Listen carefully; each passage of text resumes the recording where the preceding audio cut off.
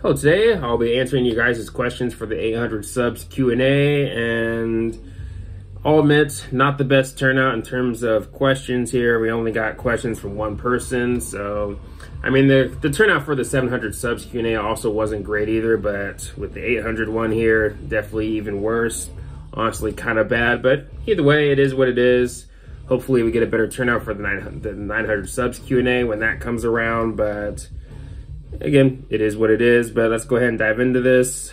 Um, we got some questions from Blink PS2. If Emily Armstrong wasn't the current vocalist for Linkin Park, who would you have liked to see take vocal duties? A few of my choices would have been Deryck Whibley from Sum 41, Dan Marsala from Story of the Year, and Bobby Amaru from Saliva. And for a female vocalist, Courtney LaPlante from Spiritbox would have been good also.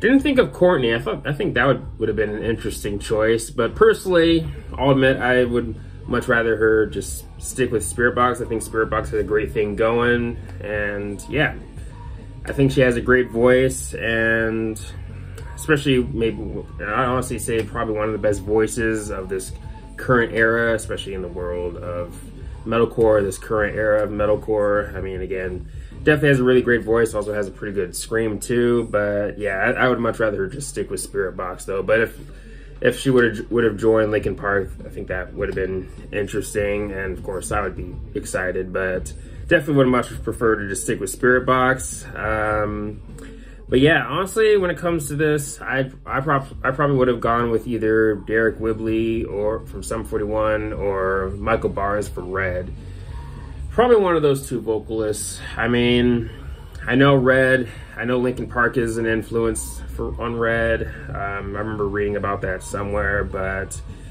yeah, I honestly I'd, I'd, say Michael Barnes or Deryck Whibley. I think either of the two would, would have been, been able to pull it off, uh, especially Michael Barnes from Red. I mean, definitely killer vocalist, and if you haven't heard of Red, definitely check them out. Really good band, but yeah, Again, probably gonna have to go with either Deryck Whibley or Michael Barnes from Red for sure. But I do think Emily Armstrong is doing a solid job. I, I do like the singles we've gotten so far.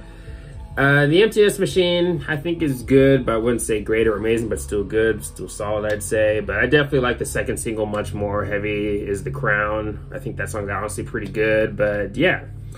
Those are my answers for these questions for this Q&A. Um, Thank you, thank you uh, Blake PS2 again for the questions. But yeah, thanks for watching. Please leave a comment and a like, subscribe.